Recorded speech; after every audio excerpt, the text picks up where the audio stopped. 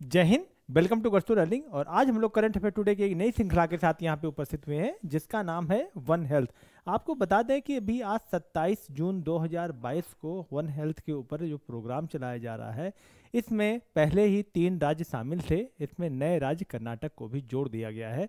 तो ऐसे कौन कौन सी बातें हैं जो वन हेल्थ में शामिल की जा रही हैं? इसमें मानव को लेकर के पशु पक्षियों को लेकर के जीव जंतुओं को लेकर के कौन कौन से अहम कदम उठाए जा रहे हैं? डब्ल्यूएचओ का इसमें क्या सहयोग है? उन सभी बातों की परिचर्चा आज हम लोग करंट अफेयर्स की क्लास में करने वाले हैं। तो इसमें आपको एक चीज़ बता दें कि जब मत्स्य पालन पशुपालन और डेयरी मंत्रालय के अधीन पशुपालन और डेयरी विभाग डी ने वन हेल्थ स्वरूप के ज़रिए पशुओं, मनुष्यों और पर्यावरण संबंधी, यहाँ पे तीन चीज़ों को जानिएगा। तीनों है, पशु हैं और इसमें हमारे मनुष्य हैं और पर्यावरण। स्वास्थ्य को चुनौतियों का मुकाबला करने के लिए हितधारकों को एक मंच पर लाने की पहल की है।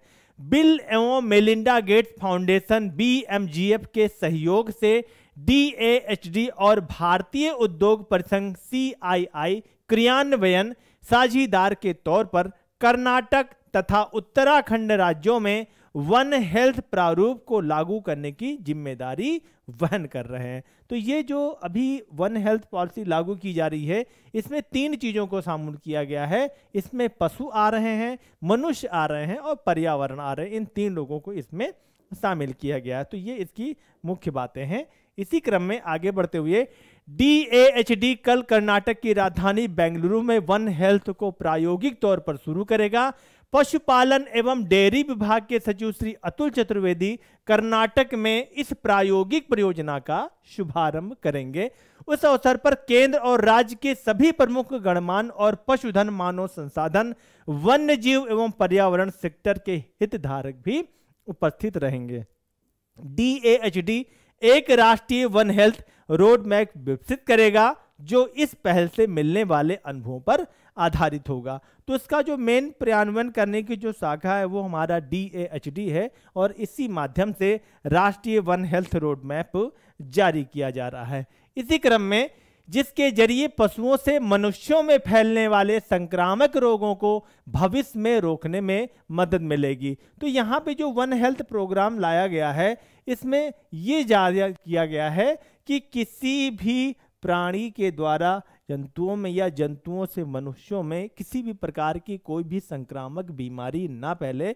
जैसे कि अभी पिछले दशकों से ही बात हम लोग कर रहे हैं, कई प्रकार के जीव जंतुओं और पशु पक्षियों से बीमारियाँ मनुष्यों में फैल रही हैं और मनुष्यों के द्वारा अन्य जगह पर भी फैल रही है तो इन संक्रामक बीमारियों को रोकने के लिए ही वन हेल्थ प्रोग्राम लाया गया है। इस पहल से बेहतर तरीके से रोगों से निपटने की प्रणाली तैयार होगी और उसका प्रबंधन संभव होगा।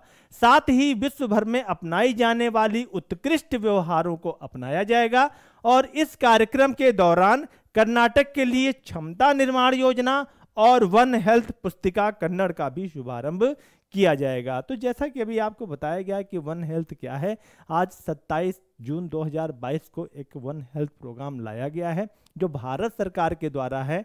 इसमें जीव जंतुओं को, मनुष्यों को और पशु पक्षियों को शामिल किया गया है और उन सभी संक्रामक बीमारियों को रोकने के इसमें उपाय किए जा रहे हैं, जो मनुष्यों से जानवरों में या पशु पक्षियों से मनुष्यों में फैलते हैं। तो आज की करंट अफेयर टुडे की श्रृंखला में यहीं तक। मिलते हैं नेक्स्ट सेगमेंट में नए तथ्य और नए विश्लेषणों के साथ। तब तक के लिए अगस्तु लर्निंग की तरफ़ से जय हिंद जय भारत।